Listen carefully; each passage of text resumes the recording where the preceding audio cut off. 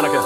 This morning on Action News. Action Radar shows the rain At noon, this just in, the verdict is guilty. Chopper 16 on fire. News at 5. A volunteer anti-drug Hugh Marks, breaking story at 5.30. Eugene. But the big story on Action News tonight, tonight the signing of the number one. Get out the umbrella. Action News. Because the action never stops. Chopper